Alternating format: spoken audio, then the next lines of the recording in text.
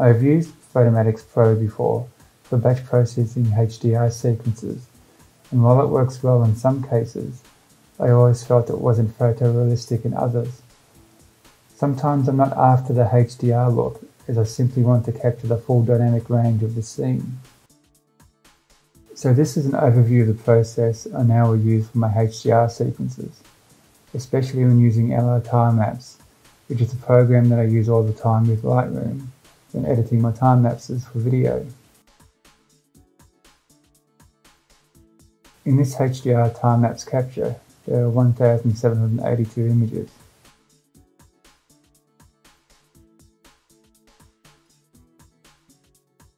You need to know the capture interval between each set of three bracketed exposures so that we can use the auto stack feature of Lightroom to separate all these photos into stacks of three ready for merging into HDR frames.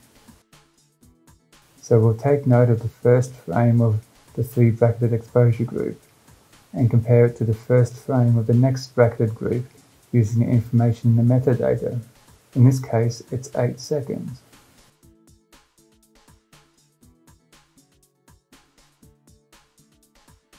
So we'll select all the images in the sequence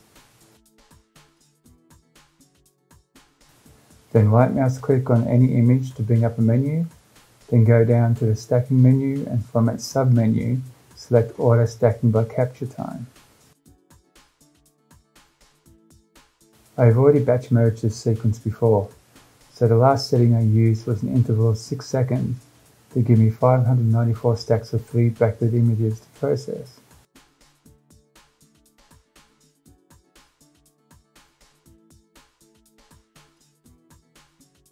For some reason, with my PC version of Lightroom, when I adjust the slider value, it will either take a long time to update the value and calculate the resulting number of stacks based on the interval, or the software will simply freeze on me. I guess that's because I have over 1700 images in this sequence.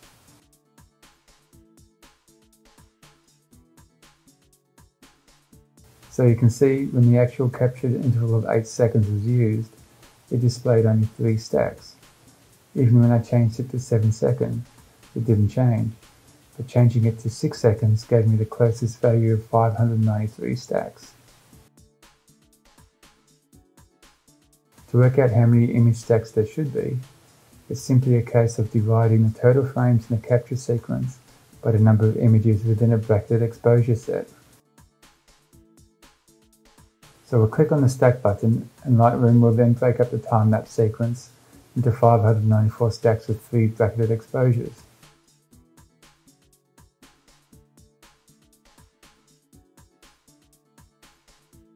Now the entire sequence has been broken up into 594 stacks, so the 6 second interval value for auto stacking by capture time worked perfectly in this case.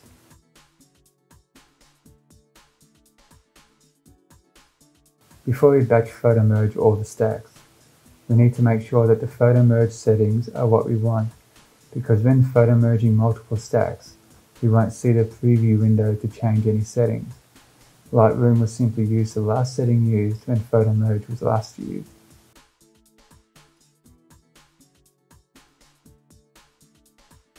So to check, we will deselect all the stacks and then reselect only one stack. Then we'll right mouse click on the selected stack to bring up the menu to then select the Photo Merge HDR option, which will bring up the preview window to check the settings.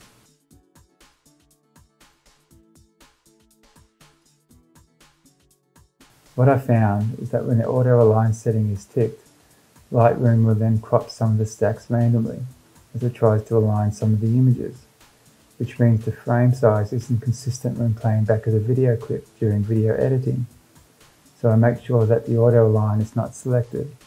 Besides, a tripod was used for the capture, so there shouldn't be any need for alignment.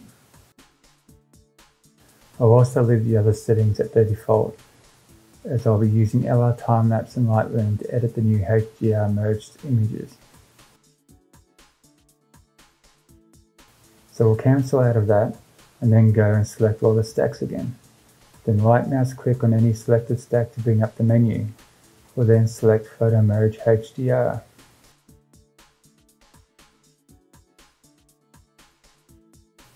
Then a small dialog box will appear stating that more than 50 stacks are selected for merging. Just select yes to continue and Lightroom will display how many stacks are to be merged and then we'll start processing all the stacks. It can take some time for Lightroom to process this many stacks. From memory, the first time took between 1 and 2 hours. The other thing to consider is that the new photo merged HDR images will have a much larger file size compared to the original RAW file, so make sure that your hard drive has enough free disk space before you start.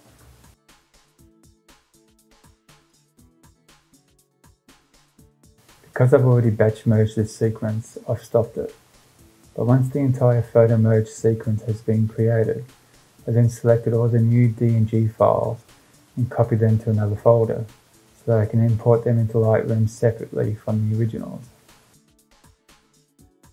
Once the DNG sequence has been copied or moved to another folder, I will then rename the sequence so that the files are in numerical order for importing to my video editor. For Windows, I used the free program called Bulk Renaming Utility, which is a powerful batch renaming software. Now I can edit the HDR sequence using the DNG files as a normal time-lapse sequence, using LR time-lapse to help make any smooth transitions regarding the exposure, white balance and so on. Because the DNG image file size is so large, it can take LR time-lapse some time to load and read the sequence's metadata, a lot longer than normal, so a good time to grab a coffee or have a break. Once it's been fully loaded, you can then create and save key transition frames within LR timelapse, which can then be edited in Lightroom. When the keyframes are then edited in Lightroom, the metadata of the new edits are saved back to the files. Then LR time lapse is used again to reload these keyframes to then smooth out any key changes. Finally, we can save the updated metadata from LR timelapse back to the sequence. Going back to Lightroom, the metadata is loaded back into the Lightroom sequence ready for exporting to your desired format for video editing.